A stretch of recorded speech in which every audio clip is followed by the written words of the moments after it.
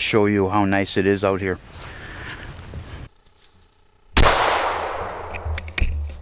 Come on, Riley. Look at a fan on that. Creamy grouse and bacon carbonara is going to be on the menu. A scorpion pepper.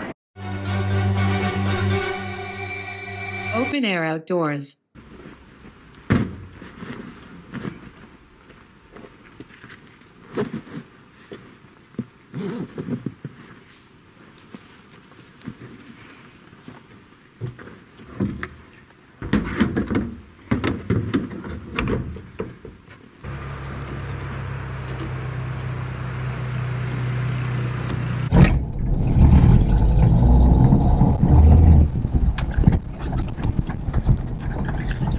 I'm gonna do an overnight camp up. I'm gonna pitch a tent in these woods.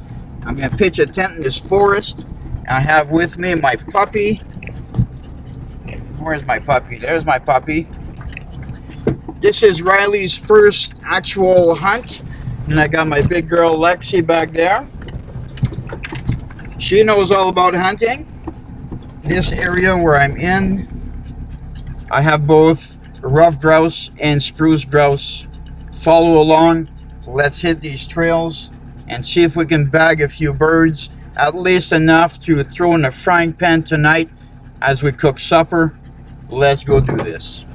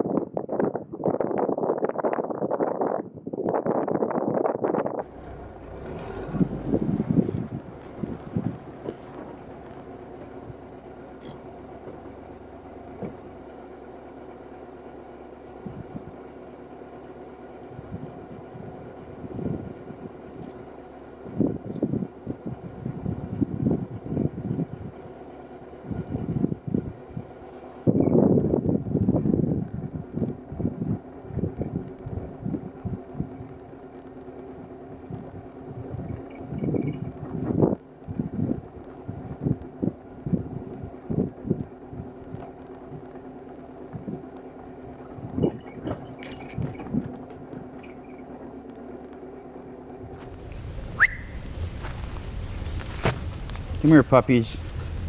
This is where I'm to camp out tonight. Absolutely gorgeous spot. Look at the forest around me. Absolutely gorgeous. I'm on the edge of a, a small lake. I'm to pitch camp right here, but not uh, until late today. I'm to keep running the Jeep, running the trails. I got out to look around, and unfortunately for me, uh, Lexi went out looking. She went running around, and she lifted three birds but she was too far away from me. I never get to do get a shot on any of the three of them. So I missed out on a few birds right here on the campsite that I'm going to uh, be staying on. So maybe later tonight uh, or this afternoon when I come back and get set up, I'll get lucky. But uh, this is all part of the hunting and it was good because uh, my little puppy Riley running around right there I'm really banking that he's going to pick up on what's going on by following Lexi around. Unfortunately, Lexi is, uh, she knows we're hunting, but she was not a, actually a trained hunting dog. But she knows what we're doing, what we're, what we're after. And uh, unfortunately for me, when she sees a grouse, uh, she'll chase after it. If I'm lucky, it'll go up in a tree and I can go take it out. If I'm not lucky, she's too far away from me and all she does is push him deeper into the forest.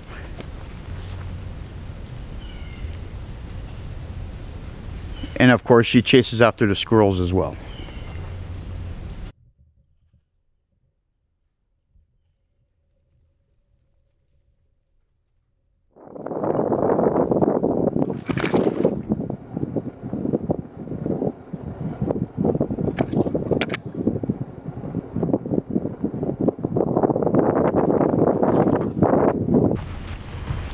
Gorgeous spot.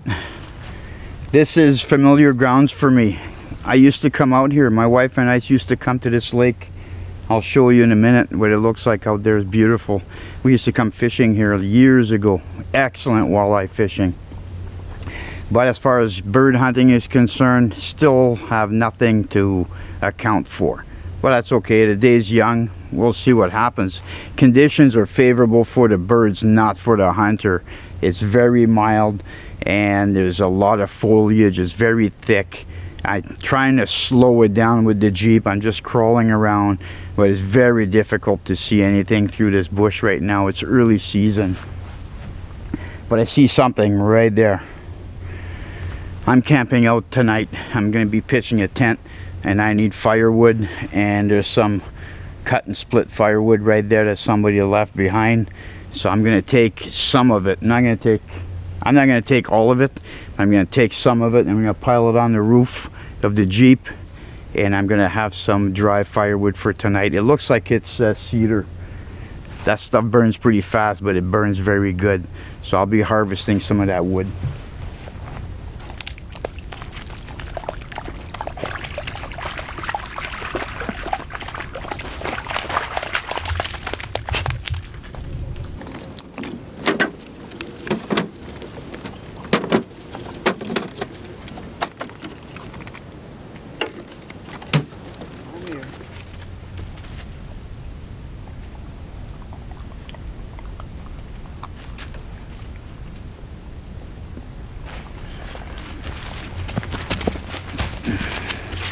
finally a little bit of success. And uh, this is the very very first introduction to uh, ruffed grouse with uh, Riley. So I made sure he got a good smell so that he understands what this is. Absolutely beautiful bird. Look at the fan on that. Gorgeous. What I have here is an adult ruffed grouse and you have an idea how big these birds are.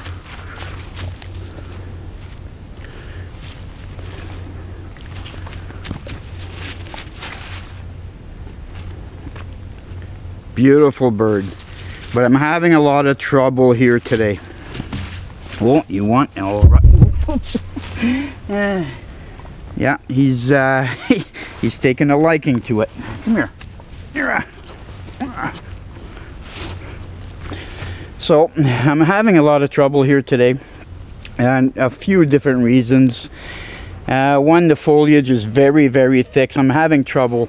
I'm seeing birds, but by the time you get out of the Jeep and pull a gun out, that bird is long gone. They just walk right off into the forest and they disappear. These things are masters at camouflage and a lot of people, I'm gonna say most people, um, they don't give credit to how fast these things move through the forest on foot. These birds spend most of their time on the ground, not in the air flying. And they'll, they'll scurry through the forest and they'll tuck underneath brush and they go for the thickest ugliest brushy stuff there is and they hide. At the very least um, supper is secured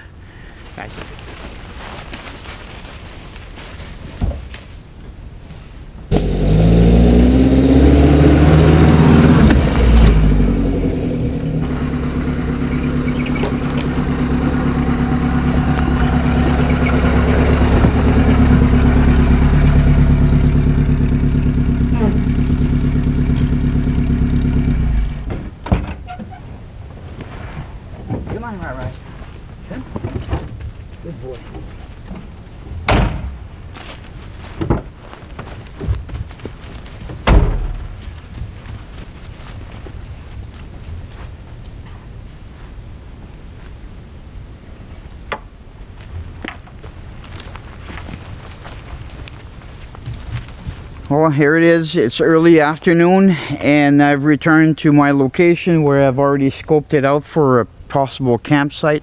This is absolutely gorgeous, beautiful spot for me to camp out on.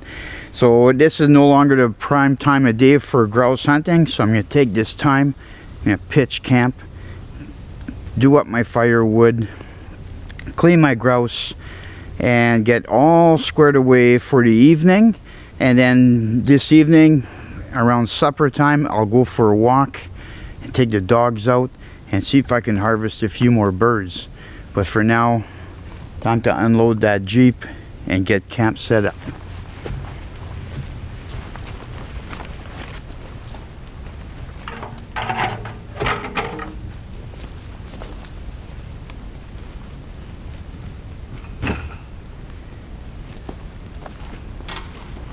Riley, you get out of there.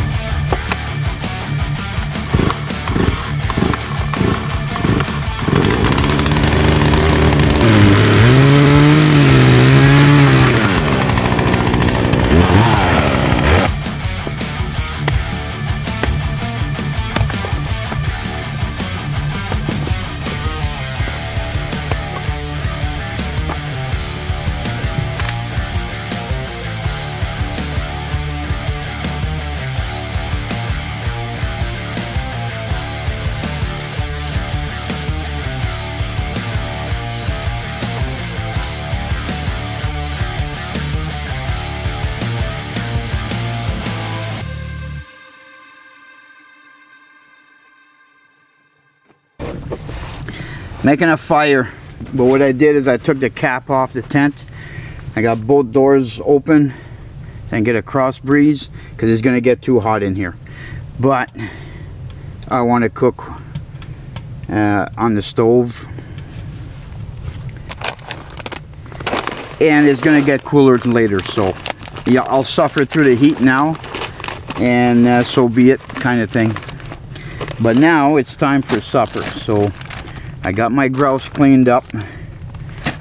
I'm going to saute my grouse. I brought everything I need to make this dish here tonight. So it's going to be uh, creamy grouse and bacon carbonara is going to be on the menu. And the first thing I got to do is I'm going to cook two slices of bacon. I'm going to chop it up because that's going to get mixed into the pasta. And then I'm going to cook my grouse. And I brought a bunch of stuff for that going to be fantastic.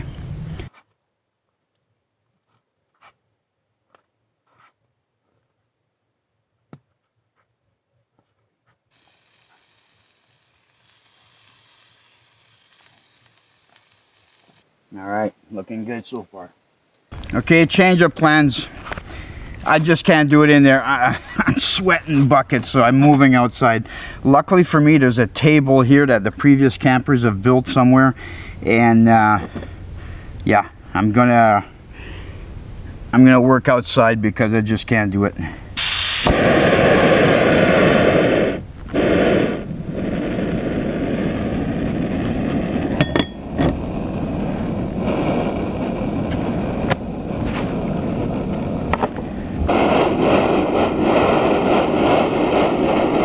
This is uh, garlic infused olive oil. Man, does that ever smell nice.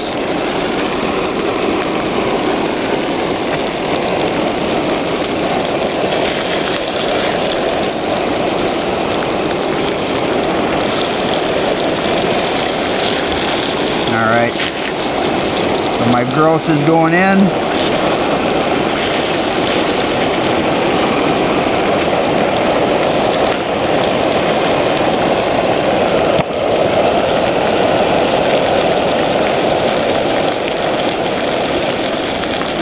Gonna turn my temperature down here a little bit. I'm getting a good sear on that.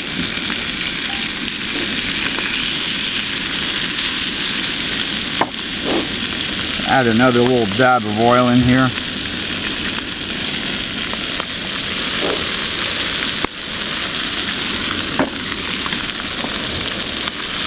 Oh, does that ever smell good? Okay, did I mention I'm doing the cheater method? So I'm using a Knorr Sidekick. So creamy, creamy bacon carbonara, right? That's what I said earlier, but now I don't think I divulged that I was using a Sidekick. Sidekicks are awesome, but you can make it better, which is what I'm doing today, obviously. Okay, I got my pot on, my water is boiling. Now I can add this to it. While I'm cooking the pasta, there's some other preparations we can do. And that's gonna be slicing up the grouse. And I'm also have something else, something a little bit special here. Let me show you what I'm talking about. Here's what I have that's gonna add to my meal.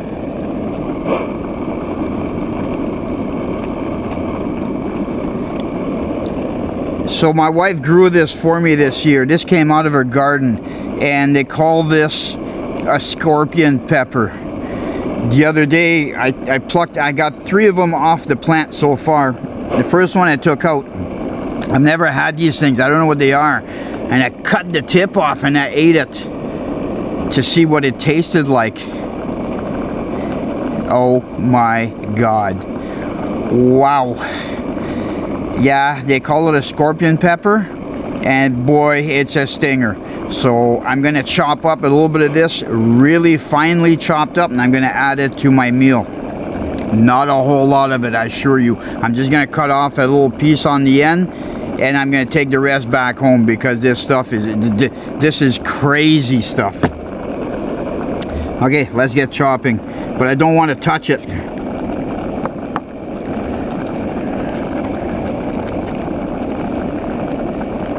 I'm not sure how much I should take. I'm just gonna dice it up really fine. Scorpion pepper. Okay, now I'm gonna chop up my grouse. And I'm not gonna chop it fine, I just want some slivers. Because I still want to bite into it, right, when I'm eating it. You know what? I'm to cheat a little bit.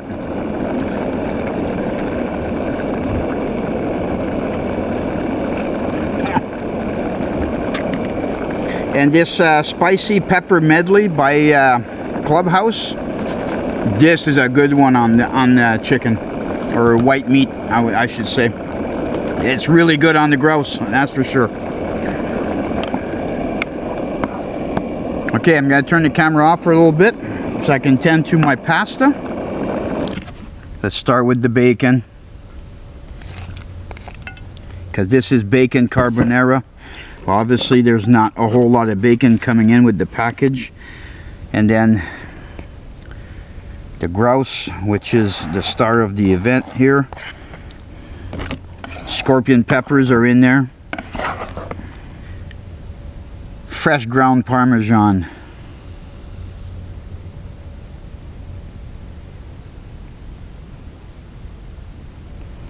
I get a piece of uh, grouse there.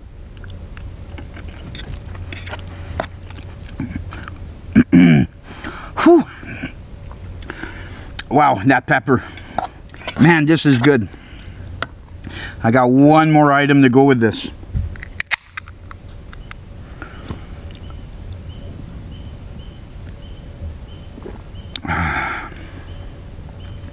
This is a pale ale by Creemore and it has a citrus uh, tone to it. I picked this beer specifically because I knew I was going to have uh, a hot meal like with the pepper. And uh, the spices that I picked to um, to season the grouse with it's got a little bit of heat to it too right? Because it's a pepper medley of some kind. And the citrusy beer kind of um, it almost neutralizes the heat a little bit. Kind of hard to explain. You'd have to try it. You'd have to take my word for it. No you're not getting any of it because it's got hot stuff and hot stuff will make you sick. And I don't want you sick my big girl. So I'm gonna eat this out here because it's too hot in there and it's too awkward I'm gonna have my uh, Riley what are you doing? No no you get over here. Come on come on. Good boy. I'm gonna eat on the tailgate or on the bumper I should say. Because it's just too hot in that tent I'm gonna let my fire die out and then I'm gonna retire. The sun's going down soon it'll be dark. I gotta do my dishes before I go because I don't want all this smells to attract critters I'll see you back in the tent. It is really hot in here but I am sleeping on the ground. I'll give you an example of how hot things are getting.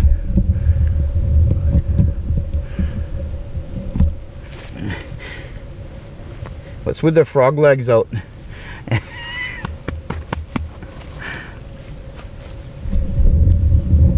It's hot enough that uh, Mr. Riley Mr. Riley is uh, he dug beyond the pine needles. Everything is covered in pine needles here, and he's digging down into the sand so he can lay into some cold, cool sand. Hey, Riley, Riley, no, dude, no, you're you're putting sand all over the bed. All right, good night.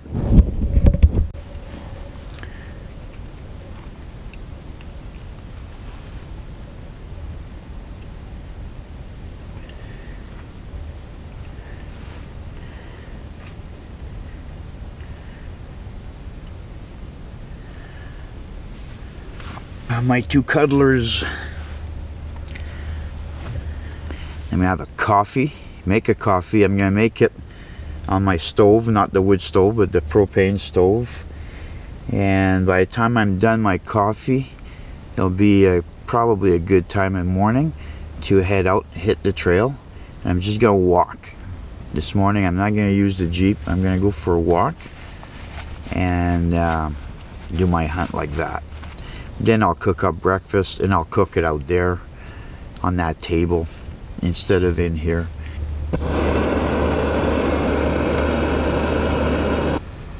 The squirrels are waking up out there.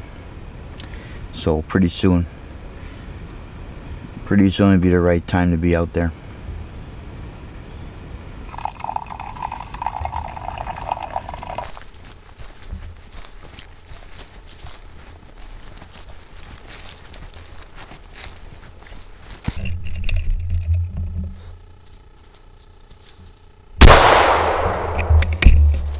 Come on, Riley.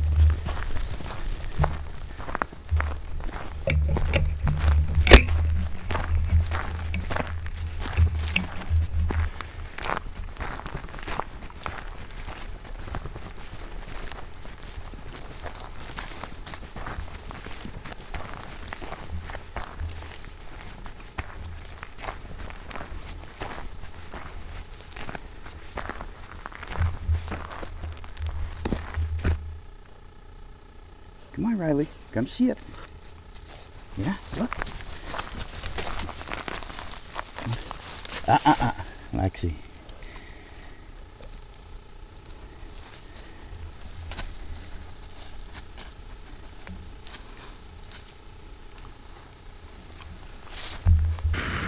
I'm back from my walk.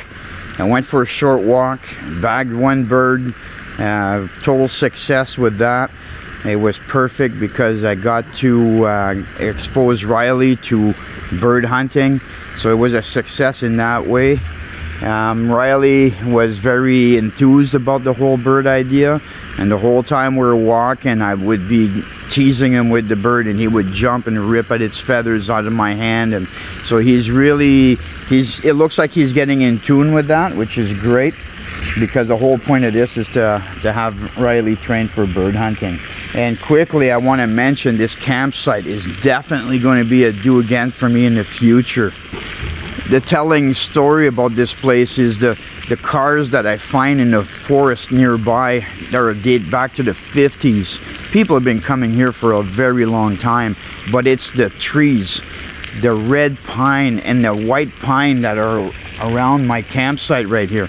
They got to be 150 years old and more. They're just towering, majestic, huge trees. Absolutely gorgeous. The entire area is beautiful. And as far as garbage is concerned, I'm really impressed on how a site like this is being used by people for probably 50 plus years, judging by the cars that are in the forest. Um, the amount of garbage is minimal. There's a there's a lot of scrap iron. If you if you play around in the woods, you can find some old scrap iron. But as far as actual garbage, there's a little bit that's contained in the one fire pit here. Excellent. I love it when I see these sites like that.